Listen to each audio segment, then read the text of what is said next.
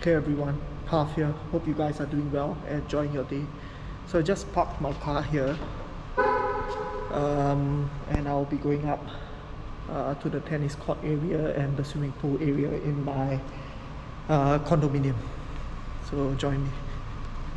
That's the staircase.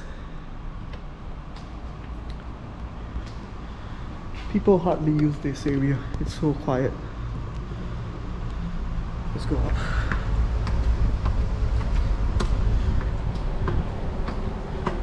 So this is a condominium in the east side of uh, Singapore. Look at the tennis court. The swimming pool is at the back. As you can see, there's a pathway from here going there. So it's pretty like quiet around this time. It's a Friday around 5 p.m. and uh, it's a good place to have a walk or take a dip or even play tennis. It's pretty much empty every single time apart from uh, after working hours. So I just reached at the swimming pool area. Here it is.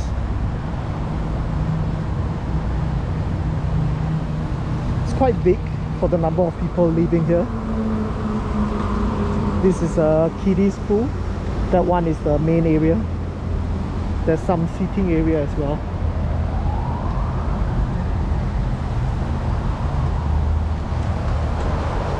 So there's a this this part of the condominium is a bit quieter with uh, some seating area and there's a swimming pool.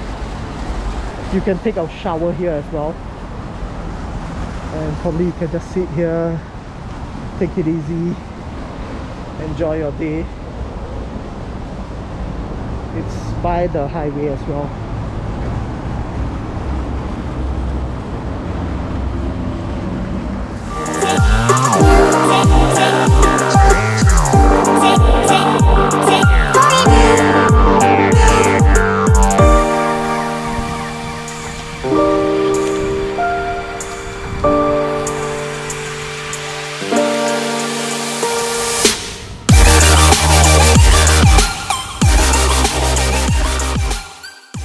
The topic today is how to build muscle and lose fat at the same time.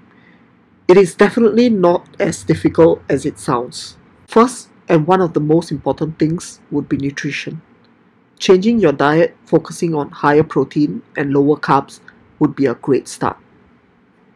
As for the total amount of calories, make sure you're slightly below your maintenance calories and not too much lower, if not, it will affect your muscle gain. From my experience of bodybuilding for the past 10 years, I've done all the different approaches. From re- reducing calories severely and focusing on cardio to ketogenic diet. Best would be to start off with a deficit of around 200 or so calories and reduce further over time. This would maximize your muscle gain and fat loss. This would yield the best overall results as you will see the difference in your body every week. Also, focus on having at least 3 or 4 liters of water a day. Water is essential for muscle growth and it helps on the digestive systems, which would indirectly lose body fat as well. Another thing is to take out processed sugar from your diet altogether. Replace it with honey or sweetener if needed, but having natural sugar would definitely be the best option, for example, from fruits. Salt can still be kept in your diet, but make sure you do not have too much of it, as sodium retains body fat. Nutrition is the utmost important factor in losing body fat and gaining muscle. Next thing will be training.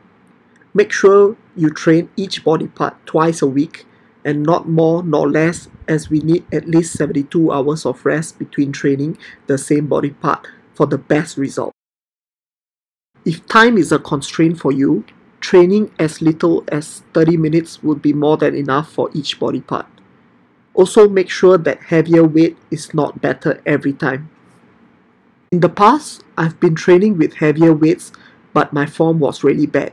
And when I switched to lighter weights and focused purely on form, I start to see more muscles building up. This is a very common mistake made by everyone, especially beginners. Even myself a few years back, so please make sure you focus on form before anything else. As for the cardio, focus on high intensity cardio rather than low intensity. You will gain much more muscle focusing on high intensity and you could also spend less time doing it. In the past, I've spent hours jogging and it's really bad for muscle gain.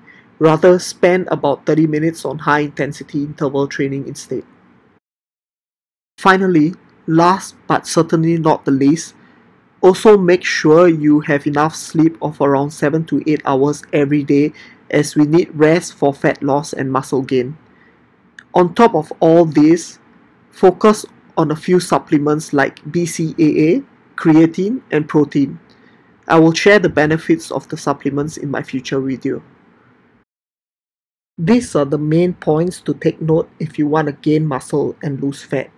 It may sound difficult, but taking one small step would make a huge difference. It is so much more important to do something minimal rather than nothing at all, so start today. Cheat meals once in a while would be good for mental health, so don't hesitate to have one as well. One more important point to take note would be that to have your meals spread across 5 to 6 meals a day so your body is carved up constantly rather than having the majority of the calories at one part of the day.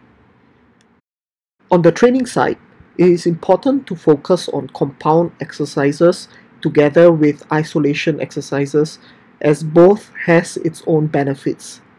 The compound exercise focuses on overall structure of your body whilst isolation focuses on building that particular muscle group.